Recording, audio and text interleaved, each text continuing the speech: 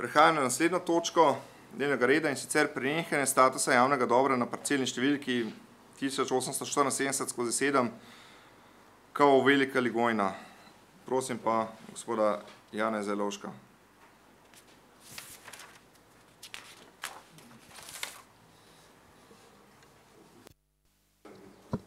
Zdaj pa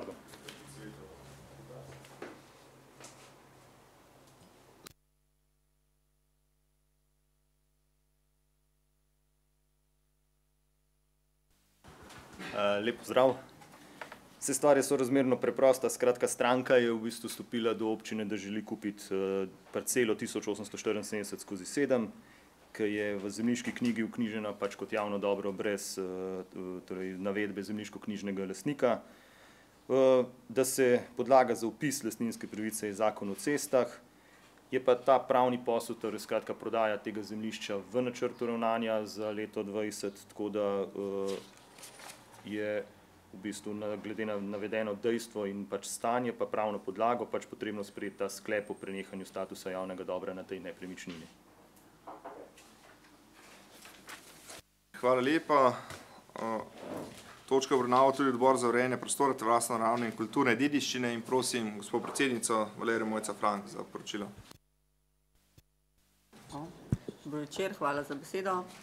Odbor za urejanje prostora ter varstvo naravne in kulturne dediščine predlaga občinskemu svetu Občine Vrhnika, da sprejme sklep o prenehanju statusa javnega dobra na nepremičnini parcelna številka tisoč osemsto štiriinsedemdeset skozi sedem katastrske občine Velika Ligojna ter vknjižbi lastninske pravice v korist Občine Vrhnika, Tržaška cesta ena, Vrhnika v predloženi vsebini.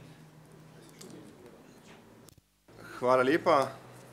Ker je točka enostavna, bi kar skupno prijavo na vprašanje in razpravo, pa prosim za prijavo. Zaključujem prijavo. Ker ni bilo prijav, dajem na glasovanje predlagani sklep: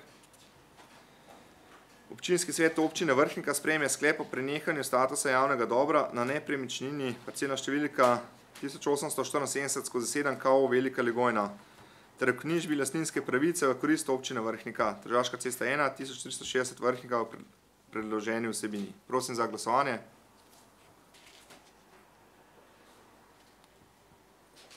Zaključujem. Dvaindvajset za, nič proti.